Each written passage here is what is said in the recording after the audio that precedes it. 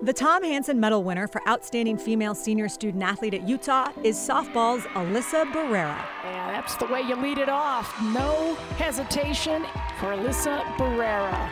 After an impressive beginning, starting all 53 games as a freshman and making the Pac 12 all freshman team, the two time team captain has left her mark on Utah softball. Barrera underneath, out of the yard.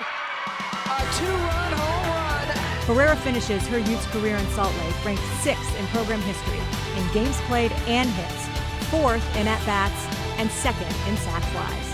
And over the wall, a two run shot by Barrera. This is some good leadership by the senior Barrera. The two time All Pac 12 and two time All Region honoree came back for her super senior season in 2021 and was a mentor for Utah's eight freshmen, leaving a legacy for the program's future.